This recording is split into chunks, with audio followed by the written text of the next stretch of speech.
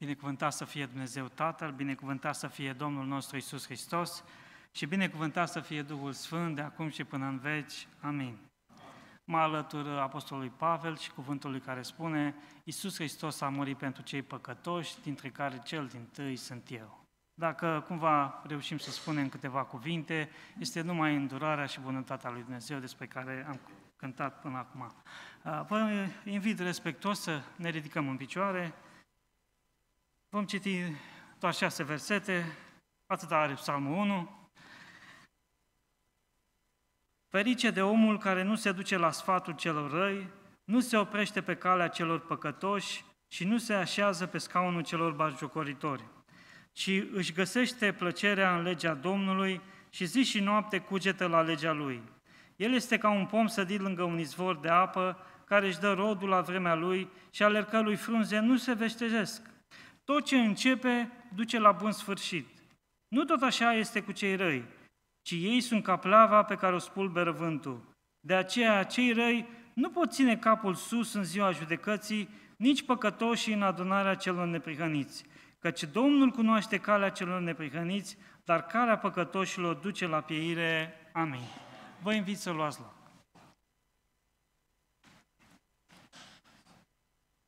Suntem într-o seară frumoasă în care am lăudat pe Dumnezeu, l-am binecuvântat, majoritatea cântărilor ne-au îndemnat și cuvântul ne-a îndemnat să îl lăudăm și să îl binecuvântăm pe Dumnezeu. Am primit și un bilet care spune Sora Ioana este solicitată să cânte încă o cântare spre lauda Domnului. Mulțumesc! Nu știu dacă sora Ioana mai aveți o cântare? Mai are o cântare la sfârșit voi încerca să termin mai repede, să avem loc să lăudăm pe Domnul, căci așa ne prinde bine la toți, să lăudăm pe Dumnezeu, slăvit să fie numele Lui. Psalmul numărul 1 este psalmul care îl cam știi de la grădiniță. Îl învață copiii de pe la prep, fiul la prep, fratele the principal la Lighthouse Christian College, Mr. Matthews, prima, psalmul 1, toți psalmii la prep, nici nu știu să scrie, învață psalmul 1, psalmul 23, să ține de ei acolo. La Sunday School, când îi duci, printre primele lucruri care le învață e psalmul 1. Toată lumea, cred că toți știm psalmul 1. Și în această stare de, de har a psalmului 1, cred că toți îl știm și toți cunoaștem acest, acest psalm, însă și toți psalmii aceștia și cântările pe care le cântăm, ele sunt așa, o, sunt creația lui Dumnezeu care a lăsat pentru noi ca să ni se bucure inima. Vedeți, nu cântăm, îi mulțumim lui Dumnezeu și îl lăudăm pe Dumnezeu pentru ceea ce El a făcut pentru noi. Însă, dacă vă aduceți aminte, când am vorbit luna trecută în Psalmul 100, ă, la versetul spune, la versetul 4 ne spunea cuvântul lui Dumnezeu, spune, intrați cu laude pe porțile Lui, intrați cu cântări în curțile Lui, lăudați-L și binecuvintați numele. Aceasta este starea în care Dumnezeu ne cheamă să citim Psalmul 1, Psalmul 2, Psalmul 3, Psalmul 4, până la Psalmul 150 și toată Scriptura în general. În această stare de intrare cu laude pe porțile Lui. De aceea îl lăudăm pe Dumnezeu. Pentru că într-o zi vom intra pe porțile Lui. Nu lăudăm, îl lăudăm pe Dumnezeu că El ne-a dat sănătate, că ne-a ajutat, că a făcut minuni astăzi și mâine. Dar cea mai mare laudă va fi când vom cânta cântarea cum El. Acolo este cântarea, acolo este lauda. Și Psalmul 1 trebuie citit în această atmosferă a intrării în împărăția lui Dumnezeu, când vom intra în nou Ierusalim cu cântări de laudă. Au început uh, grupul de cântare cu cântări de laudă. Au terminat cu mulțumire, cu laudă, pentru că într-o zi vom intra în împărăția lui Dumnezeu. De aceea cântăm cântări de laudă. Cântăm într-adevăr cântări de laudă că Dumnezeu ne-a făcut mult bine în viața noastră, dar cântarea noastră de laudă este că într-o zi vom ajunge în împărăția lui Dumnezeu. Acolo ne cheamă Dumnezeu să fim slăviți să fie numele Lui. Și versetul 1 spune, Ferice de omul care nu se duce la sfatul celoroi, nu se oprește pe calea celor păcătoși și nu se așează pe scaunul celor batjocoritori. Ci zici, și versetul 2, ci își găsește plăcerea în legea Domnului și zi și noapte cugetă la legea Lui. În această cântare, pe care o cântăm Mielului pentru că ne-a salvat sufletele. Și această cântare pe cu care Dumnezeu ne așteaptă să ajungem în împărăția Lui, în această plăcere și desfătare în legea Domnului, Dumnezeu este acela care și El la rândul Lui se uită la noi în același mod. Spune că căci își găsește plăcerea în legea Domnului și zi și noapte cugetă la legea Lui. Dar cum cugetă Dumnezeu la noi? În același fel cugetă și Dumnezeu la noi. Pentru că spune că acela despre care îl ferice, pe care îl fericește Biblia, el se desfătează în legea Domnului, în cuvântul Domnului, în Dumnezeu. Deci, care este plăcerea lui Dumnezeu atunci când tu de, te uiți și îți găsești plăcerea în legea Domnului? Bineînțeles că este, începe cu versetul 1. Ferice de omul! De ce spune Duhul Sfânt ferice de omul? Căci Dumnezeu își desfătează, se desfătează în aceea și își găsește plăcerea în aceea care toată ziua îl caută pe Dumnezeu. Cu alte cuvinte, Dumnezeu, așa cum spune pe paginile Sfintelor Scripturi, Dumnezeu este dragoste. Și ce este dragostea? Dragostea este acel lucru care te ajută să fii împreună cu cel de lângă tine. Mai ales atunci când te căsătorești, găsești mai mult sensul acesta al dragostei, că vrei în permanență să fii cu acela de, cu care te-ai căsătorit. Ești în permanență cu el, ești plin de dragoste față de el. Așa este și Dumnezeu plin de dragoste față de noi. El își găsește plăcerea în fiecare dintre noi în seara aceasta, că noi ne-am găsit plăcerea să ne desfătăm în cuvântul Domnului, slăvit să fie numele Lui. El își găsește plăcerea, dragostea lui Dumnezeu își găsește plăcerea în seara aceasta să fie cu noi, pentru că noi ne desfătăm în seara aceasta în cuvântul Domnului. Noi ne desfătăm în această seară în casa Domnului. Dragostea lui Dumnezeu se păgoară peste fiecare dintre noi, slăvit să fie numele Lui. Tot în același psalm spune, care l-am citit, Psalmul 100 mai de demult, spune căci Domnul este bun, bunătatea Lui ține în veci și credincioșia Lui din neam în neam. Vedeți? Aici se vede dragostea lui Dumnezeu, căci spune Domnul este bun, bunătatea Lui ține în veci și credincioșia Lui din neam în neam. În permanență Dumnezeu își găsește plăcerea în cei credincioși. Nu mi-am dat seama cum Dumnezeu se relaționează la copiii lui până n-am fost părinte, până n-am avut trei copii. Când ai unul, îl ai numai pe ăla, pe ăla îl iubești. Când vine al doilea, vezi că începe să fie diferit. Al treilea e diferit de toți. Și încep să, am început să înțeleg cum ne vede Dumnezeu în dragoste pe fiecare dintre noi. Măcar că suntem toți diferiți, cântăm diferiți, avem diferite obiceiuri, avem diferite lucruri. Dumnezeu ne privește cu aceeași dragoste pe fiecare dintre noi. Fiecăruia Dumnezeu i-a dat un dar, la unul mai mult, la unul mai puțin. Dragostea lui Dumnezeu este turnată în inimile noastre, spune cuvântul lui Dumnezeu, prin Duhul Sfânt. Prin și Duhul Sfânt ne dă această putere ca să putem să slujim lui Dumnezeu. Și dacă în primele trei versete Dumnezeu îi fericește pe aceea care își desfătează sufletul în dragostea lui Dumnezeu, care își desfătează sufletul în Dumnezeu. În următoarele trei versete, în ultimele trei versete, Dumnezeu vine cu o amenințare. Nu tot așa este cu cei răi, ci ei sunt ca pleava pe care o spulber vântul. De aceea cei răi nu pot ținea capul sus, spune, în ziua judecății, nici păcătoși în adunarea celor neprihăniți. Vedem că în ultimele trei versete Dumnezeu vine și prin dragostea Lui ne atenționează asupra lucrurilor care, care se pot întâmpla și mai mult El face judecata celor care nu se desfătează în Dumnezeu.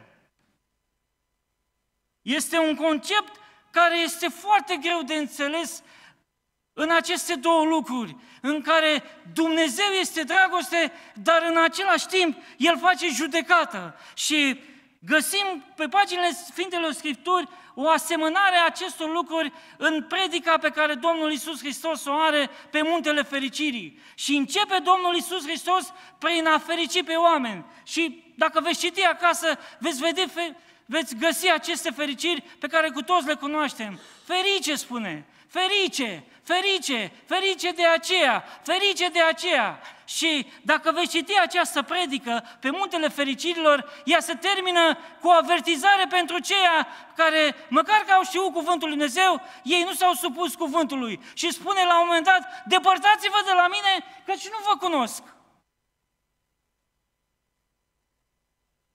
Și în acest context al laudei, putem să înțelegem poate că mai bine această relaționare între binecuvântarea lui Dumnezeu și blestem, între judecată și o sândă și între binecuvântarea lui Dumnezeu. Cum adică poate Dumnezeu în același timp să iubească pe oameni și în același timp să-i judece pe oameni? Și am avut, vedeți dumneavoastră, Dumnezeu foarte multe lucruri le-a făcut, însă cel mai bine poate că le-am înțelege prin modul în care Dumnezeu a creat cântările. Și dacă vă uitați la cor, dacă ne mai uităm și la cântări, sunt anumite note, fiecare notă poate fi cântată în mai multe feluri. Sopranele cântă undeva mai înalt și Domnul Iisus Hristos îi înălța acolo pe oameni și spune, ferice, și te duce undeva sus în împărăția lui Dumnezeu. Dar aceeași notă poate fi cântată undeva la bas, undeva foarte jos. Și te poți duce pe clapele pianului până jos de tot, până când nici nu mai poți să mai asculți anumite note. Și Dumnezeu, aceeași notă, aceeași notă care te-a dus sus, pe culmile soprane, poate să te ducă jos, jos de tot. Și același cuvânt pe care îl auzi poate să-ți aducă binecuvântarea și fericirea, dar în același timp poate să-ți aducă blestemul. Pentru că dacă nu le facem toate aceste lucruri, așa cum am spus mai devreme, în dragostea lui Dumnezeu, este foarte greu să le faci. Nici măcar nu poți să le faci. Devine, în loc să devină o bucurie că vii la biserică, în loc să devină o bucurie că cânti o cântare, în loc să fie o bucurie că ești creștin, devine o sândă, un blestem. Pentru că tu ești faci acele lucruri după lege. Nu le mai faci după dragoste în Isus Hristos. Să mă duc la biserică, să dau bani, să mă chinuiesc. În fiecare zi mă chinuiesc. De ce trebuie să fac aceste lucruri? Și te chinui în fiecare zi și nu înțelegi.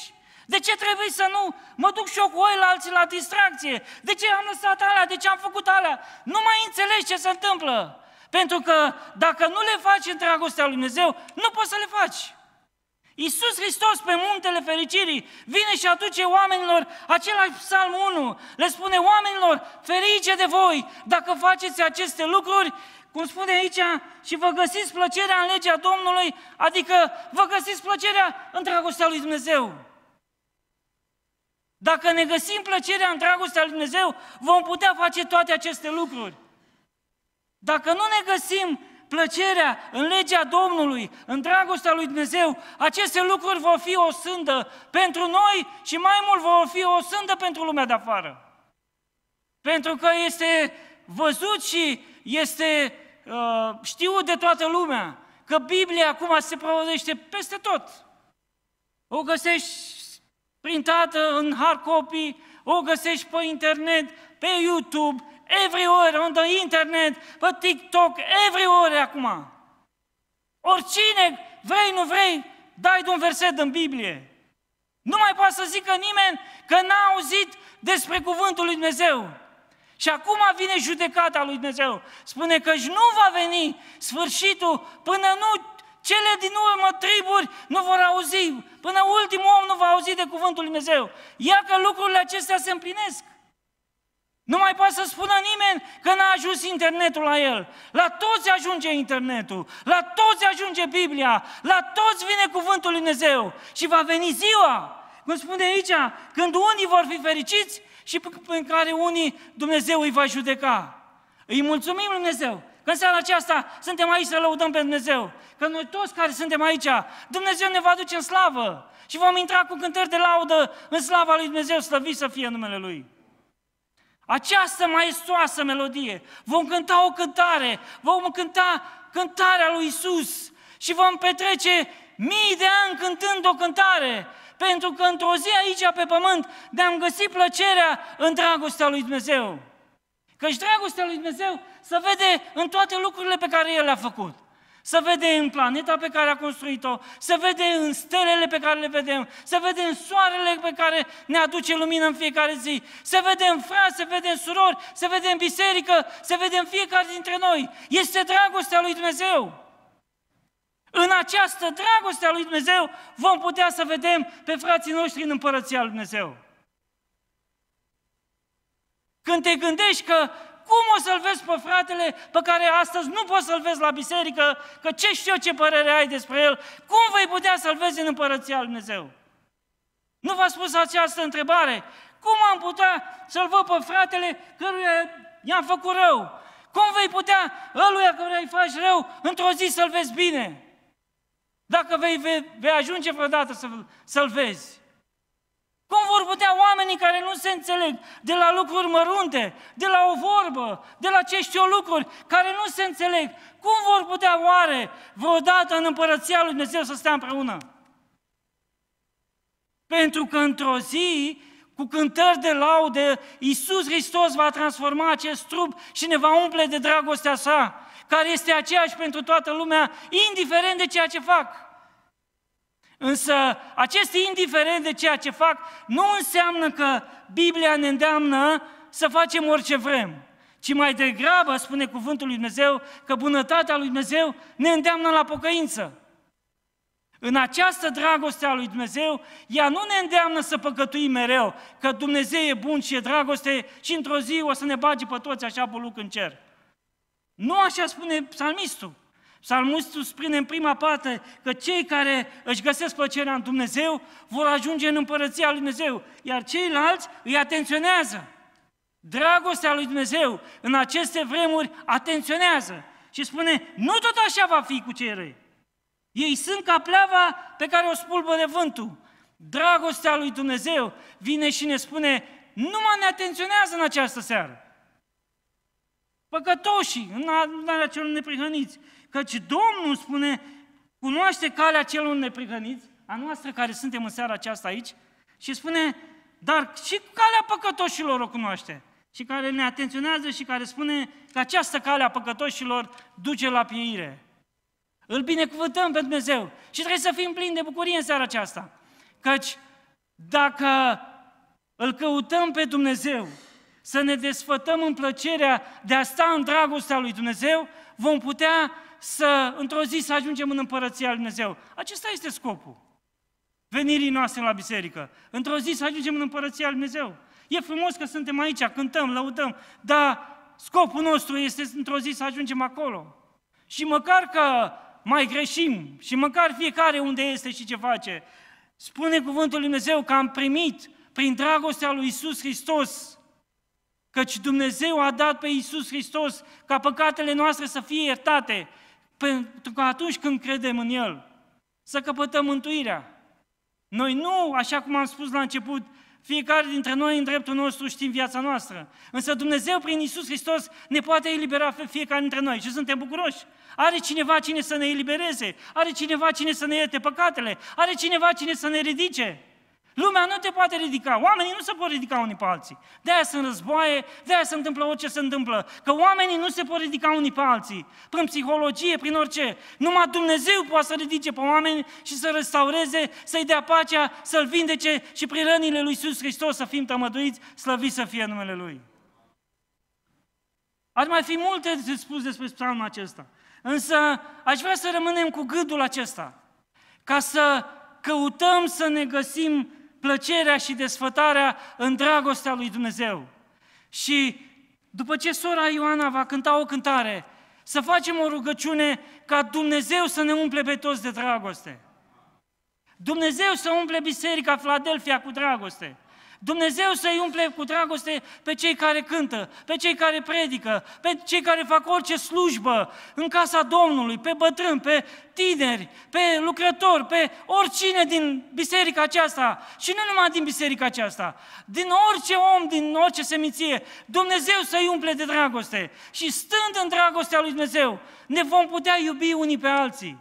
Ne vom putea uita în ochii unii altora. Ne vom uita, putea, te vei putea uita la fratele tău, chiar dacă nu are Poate nu e la standardele la care crezi tu că ar trebui să fie. Poate nu este acolo unde crezi tu că trebuie să fie sau cred eu că trebuie să fie. Poate are anumite defecte sau ce știu eu, dar în această dragoste a lui Dumnezeu să putem să ne vedem fiecare unul pe celălalt, așa cum ne-a văzut, ne vede Dumnezeu pe fiecare, pe fiecare dintre noi. Se uită la noi și mă vede pe mine și mă vede pe dumneavoastră și vrea să ne umple pe toți cu binecuvântare și cu dragostea Lui. Slăvit să fie Dumnezeu! Ascultăm cântarea prin sora Ioana și facem o rugăciune ca Dumnezeu să ne umple de dragoste. Amin.